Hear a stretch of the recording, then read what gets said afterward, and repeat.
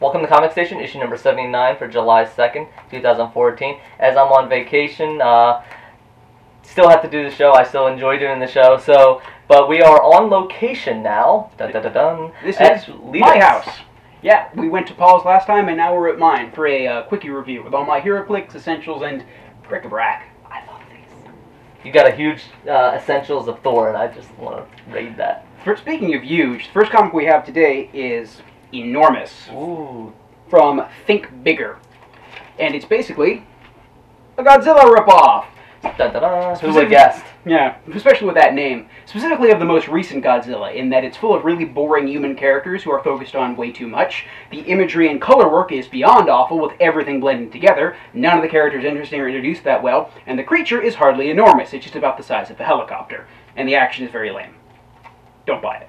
Yeah, basically sounds like the recent Godzilla. Yeah. Uh, I actually have Deadpool versus X Force number one, and I really love Deadpool, so of course I wanted to check this out. I think Deadpool himself in the comic book really fits what uh, my imagining of him was. He is the merc with the mouth. Mhm. I did like his quips. Uh, I thought maybe Cable didn't get enough of uh, a background or storyline into this, Mhm. but then again, I guess with this title, they're assuming you know both of these teams. Uh, de- well, team up and just nothing really explained in this right now. Dead. Deadpool's going back through time. He's causing havoc, and of course, Cable's trying to stop him because the timeline's getting ruined. As And whenever always. there's weird, nonsensical time stuff, you can trust that Cable is involved. Or So- Bishop. Yep, and nothing's really explained. It does seem it. It may be something that picks up later down the line, but right now I like it because of Deadpool, but I'm not 100% invested in it.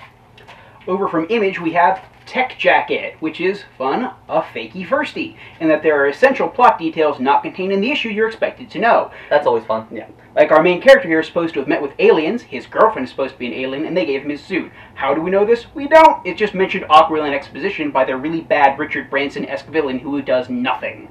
The entire thing has a lot of good ideas, like the Richard Branson villain, or the idea of a father-son superhero team, but none of them are fleshed out enough, and overall it just feels very lackluster and like a generic superhero book, which is a shame because they could have been something special, and in the end it's just something generic.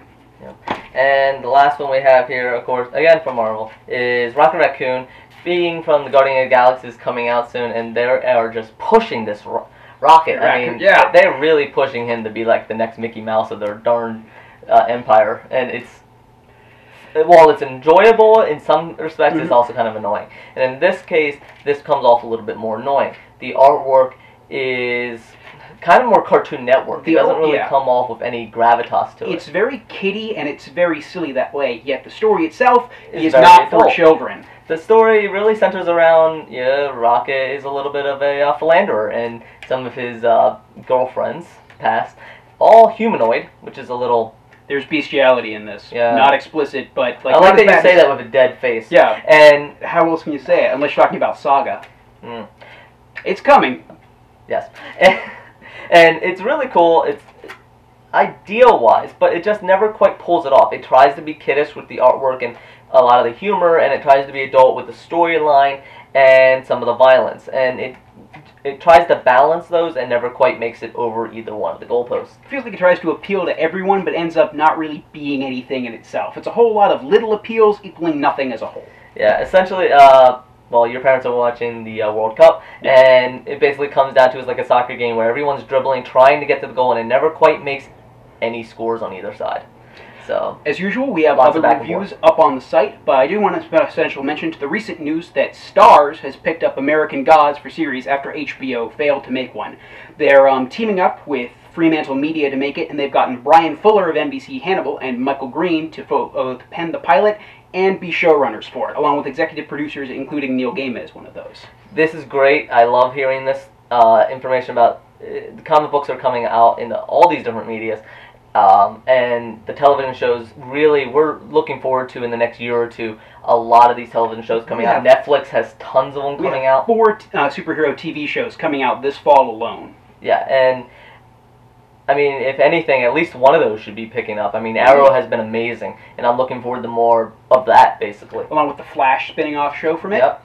Constantine from NBC, uh, Gotham from Fox, and uh, Peggy Carter from ABC. Yep, there you go. And uh, just it, all these different mediums too, not just regular television. Uh, and then also Netflix has their own Mhm. made to order basically, and so we're gonna see a whole bunch of things coming out, all these different mediums, all these different ways to get it, and we'll see what sticks. Yeah, we will.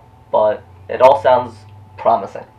I'll have more information up that in an article that was posted yesterday. Check it out if you want to know more. I think that's it for us, though. Uh, yeah, that is it for this comic station, and check out all this cool stuff that Lido has, and maybe next week Lido will be manning the helm uh, for the next comic station as I go enjoy my vacation, maybe at the shore. So next week might just be you and me solo, guys. Enjoy. All right, thank you very much, and we will see you next week.